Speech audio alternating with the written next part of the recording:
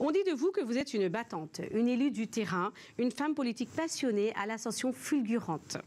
Vous portez avec conviction le SNU, Pouvez-vous revenir brièvement sur ce parcours et sur votre engagement auprès des jeunes? Bien sûr. Alors très rapidement, déjà, ça me touche beaucoup, donc je suis assez émue quand ça commence comme ça. En général, c'est parfois euh, plus, euh, plus, plus critique. Ce qui est certain, c'est que moi, je crois que le rêve français, il existe. Et ce rêve français, c'est la capacité euh, à se dépasser, à rester dans des cases ou dans des caricatures. Il se trouve que moi, je suis partie d'une génération où moi, mes parents sont venus en France et on fait que nous, on a pu grandir en France, aller à l'école. Mais pour autant, sans se dire que notre destin a été euh, hypothéqué par la définition des autres. Et pour ça, eh bien, euh, fait plein de choix, fait plein de parcours. Je suis née à Romorantin-Lanthenay dans le Loir-et-Cher. J'ai créé ma première, ma première entreprise à 18 ans.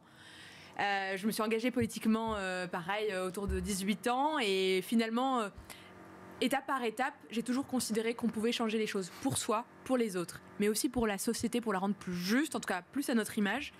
Mais il fallait des rencontres, il manque des trucs encore. Et ces trucs, c'est parfois de la confiance en soi, parfois euh, un petit coup de main euh, bancaire. Dans le monde politique, c'est parfois un mentor, des, des, des, règles qui ne sont écrites nulle part. Euh, et tout ça, c'est possible si on crée plus de liens et si on donne les moyens à chacun de trouver où se trouvent ces informations-là. Mmh. C'est ce qui m'a amené aujourd'hui à être, je crois, plus que jamais militante, d'abord du lien social, mais aussi un peu d'audace et beaucoup de mérite. bravo, bravo pour ce joli parcours.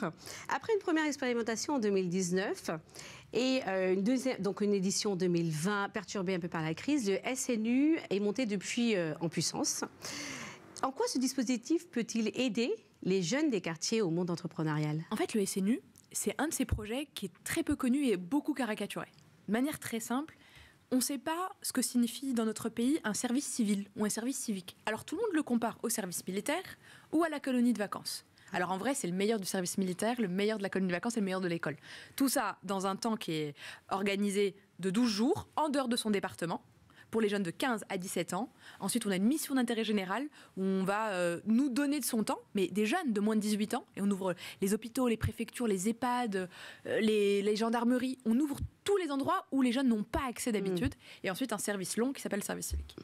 Mais surtout, la vraie différence dans ce projet, c'est que il faut être candidat, il faut vouloir y aller, et c'est encore, euh, c'est encore un frein parce qu'il n'est pas très connu. C'est totalement gratuit, je le répète, parce que beaucoup imaginent que ça coûte de l'argent. Et pour les, pour les jeunes qui sont euh, des quartiers ou même de zones rurales plus isolées ou même les outre-mer, ce qui est nouveau, c'est la mobilité. C'est hmm. le fait de se dire, je peux partir en dehors de ma région, dormir avec des gens que je ne connais pas, euh, parfois, porter, parfois porter, un uniforme, hein, c'est les mêmes tenues pour vivre ce sentiment d'appartenance. Personne ne te demande quelle est ta classe sociale, quelle est, euh, quelles sont les études que tu fais, personne ne sait ça. On ne retient que ton engagement, ta mobilisation, ton goût de la curiosité aussi.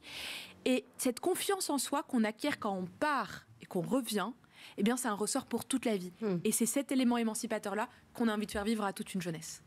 Mais c'est génial, en fait. Je me dis juste que j'ai envie de le vivre. Pourquoi ça n'existait pas, moi, quand j'étais plus jeune? C'est vrai que c'est réservé aux jeunes jusqu'à 17 ans.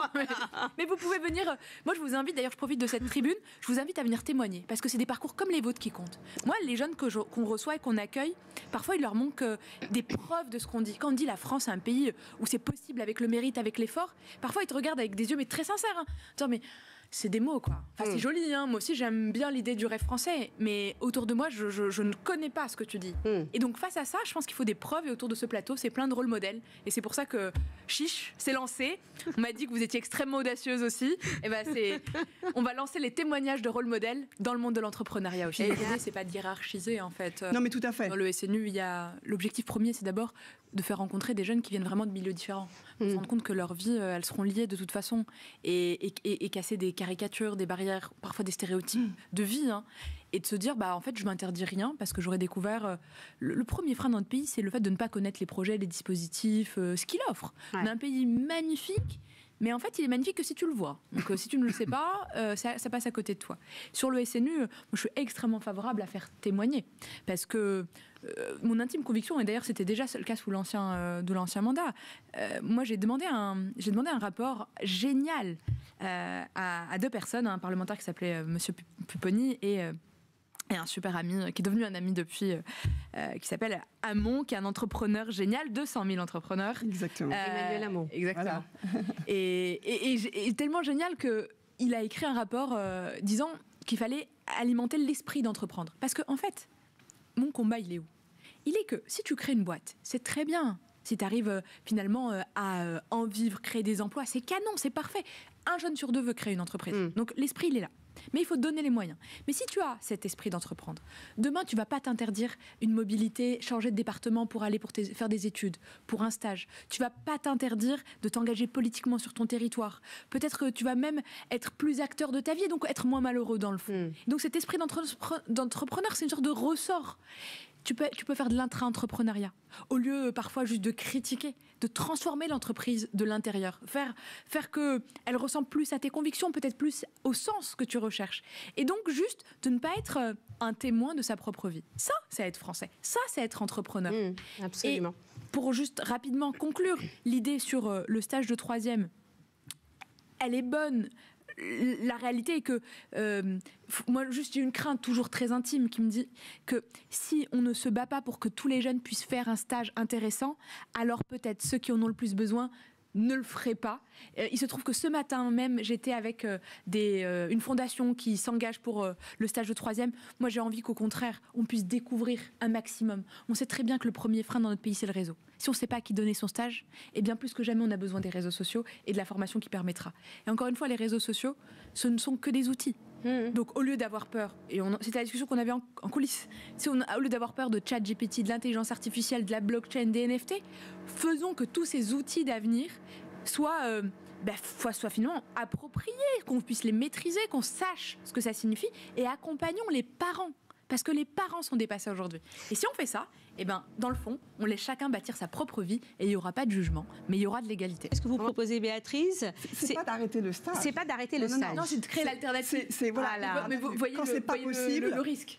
Non, parce que si vous faites une alternative qui est positive et qui permet aux jeunes de rencontrer en fait finalement plein de professionnels, moi, je ne euh. suis jamais contre. Mais la question, c'est euh, si, tu, si ça ne permet pas de vivre la mobilité, de commencer à, à découvrir l'entreprise de l'intérieur. Mais dans le fond, je préfère encore vivre ça que de voir des jeunes sans stage du tout puni, voire se rendre compte que avant d'arriver, euh, tu, tu, quoi qui va faire que ça va être. Euh, c'est un bout de vie. Il faut juste raconter qui on est pour rendre possible aux jeunes la capacité de se projeter. Il n'y a aucune hiérarchie. Il faut se rendre visible. Mais bien mmh, sûr, bien parce que ça devient tangible. Et dans le fond, le gouvernement, c'est quoi son rôle? C'est de donner accès à l'information, de donner accès aux outils, d'éduquer à utiliser ces outils, mais aussi à permettre des statuts, le droit à l'erreur junior entreprise dès le collège, au sein de quelques lycées qui sont plutôt allants, le statut de junior, d'étudiant euh, entrepreneur, la junior entreprise innovante. Ça, c'est le rôle du gouvernement, c'est de mettre aussi en place des outils qui te permettent d'essayer, de tester. Parce que parfois, on est, quand on est plus jeune, eh bien, c'est plus difficile. Et quand on a les moyens, on prend le risque de le faire. Quand on a un peu moins les moyens, eh bien, au début, on se dit, quel est mon choix rationnel? Hmm. répondre à mes besoins hmm. ou de lancer une entreprise. Parfois on fait les deux en même temps, parfois pendant les études, mais ce qui est certain, c'est qu'il faut euh, eh bien, lever ses freins, ses doutes pour permettre le passage Là, à c'est le début. il se trouve, il se trouve que les modules, c'est surtout que, juste pour euh, rassurer peut-être tout le monde, tout ce qui est présenté aux jeunes dans le service national universel passe par un comité scientifique de validation des projets pédagogiques. Ce sont des jeunes mineurs dont euh, l'État a la responsabilité pleine et entière. Et donc évidemment, tout est ultra cadré. Je rappelle, enfin, je rappelle juste que ces jeunes sont souvent euh, là parce que leurs parents font confiance à l'institution éducation euh, nationale et que on conjugue euh, les, toutes les forces de notre pays, associatives, entrepreneuriales, mais aussi évidemment voilà, des élus, des, des assos sportives pour donner les moyens aux jeunes.